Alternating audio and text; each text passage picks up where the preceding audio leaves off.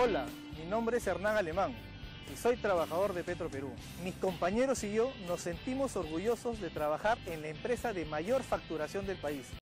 Con más de 2.000 empleados, Petroperú es la empresa del Estado que el Premier Guido Bellido ha prometido repotenciar en su reciente presentación ante el Congreso para ganar el voto de confianza. Pero hoy llama la atención por un acuerdo que ha suscrito su directorio para subir los sueldos de su plana gerencial. El más beneficiado será el gerente general.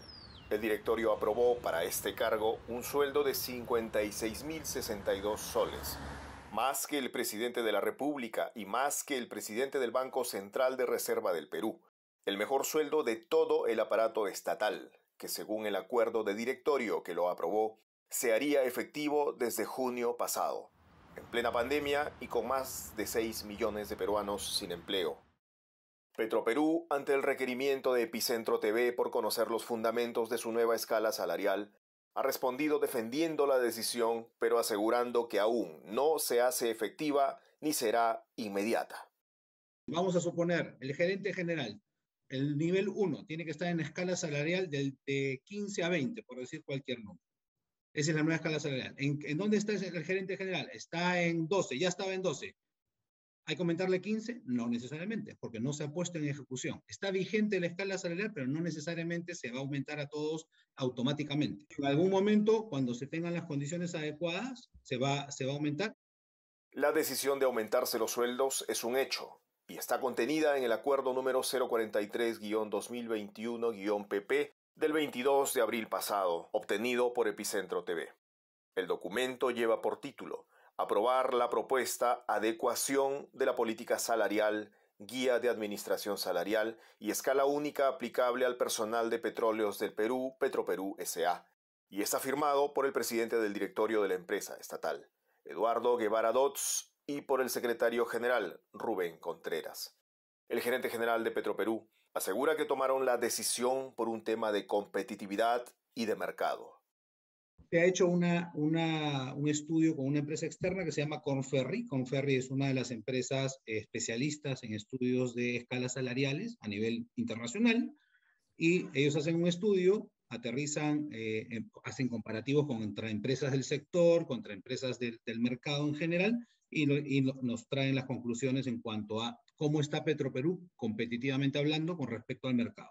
Y en base a eso se plantea una nueva escala salarial podemos certificar que esa escala todavía no está ejecutada? Bueno, es muy sencillo. Eh, me envían una carta y le decimos cuánto, cuánto, que no se ha ejecutado.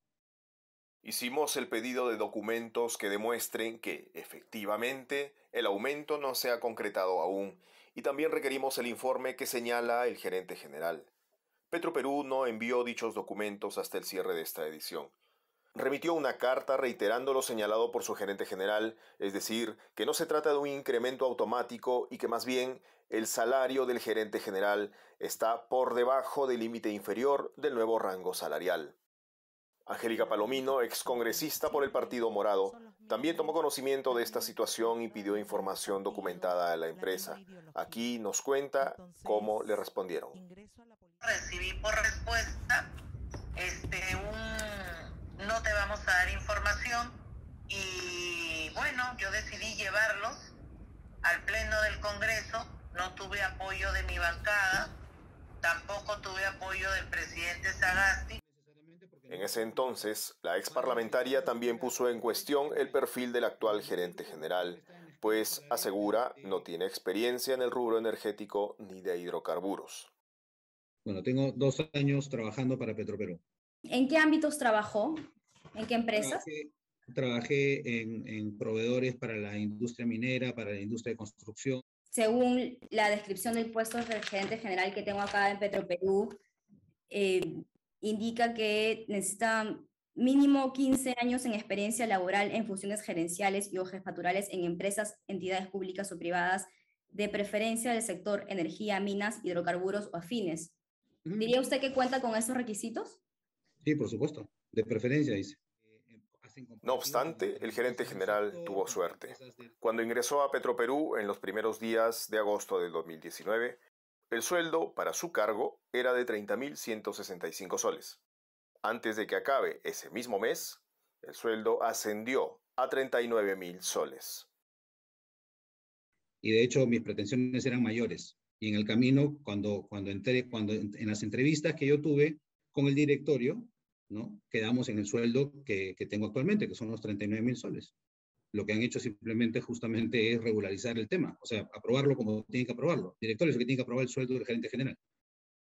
Petroperú está obligado a sustentar su incremento salarial con un informe técnico, como señalan los lineamientos del Fondo Nacional de Financiamiento Empresarial del Estado, FONAFE, la entidad del Estado encargada de normar y dirigir la actividad empresarial estatal. Epicentro TV ha solicitado el informe técnico número 1033-2021, que es el que le da fundamento a la polémica decisión, pero tampoco nos lo fue alcanzado. Más que un tema de legalidad o de ilegalidad, aquí se trata de un tema de transparencia.